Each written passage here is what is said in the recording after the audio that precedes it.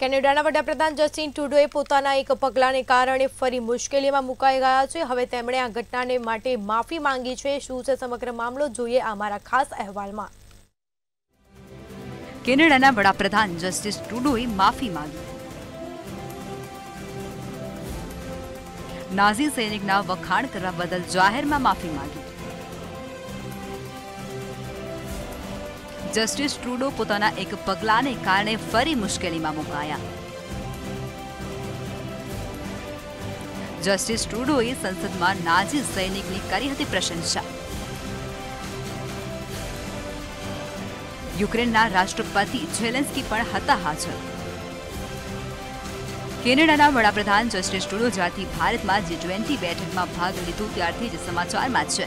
પહેલા ખાલિસ્તાની આતંકવાદીઓને સમર્થન આપે અને પછી ભારત વિરુદ્ધ તંગદિલી ભર્યા નિવેદનો આપે અને બંને દેશો વચ્ચેના સંબંધોને વણસ્યા હતા. તાજેતરમાં જસ્ટિસ ટ્રુડોએ એક નાઝી પેટ સૈનિકની પ્રશંસા કરી હતી, જેના પછી તેમને રશિયાના વિરોધનો સામનો કરવો પડ્યો હતો. હવે તેણે આ માટે ઔપચારિક રીતે માફી પણ માંગી છે. તેમણે ગૃહમાં કહ્યું છે કે આપણા બધા વતી હું મારું દુઃખ વ્યક્ત કરવા માંગુ છું. હાજર રહેલા આપણા બધા માટે આ વ્યક્તિ સાથે અજાણતા અને ઓળખવી એ એક ભયંકર ભૂલ હતી.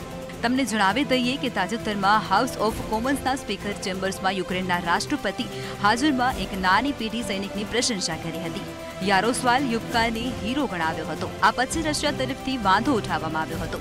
ટ્રુડોએ પછી કહ્યું કે ઓટાવા રાજદ્વારી માધ્યમો દ્વારા કીવ અને ઝેલેન્સ્કી સુધી માફી માંગવા માટે પહેલેથી જ પહોંચી ચૂક્યું છે. તમને જણાવી દઈએ કે હંકા પોલેન્ડમાં જન્મેલી યુક્રેની હતી અને જેમણે બીજા વિશ્વયુદ્ધ દરમિયાન ઓડોલ્ફ હિટલરના વેફેન એસએસ યુનિટમાં કામ પણ કર્યું હતું.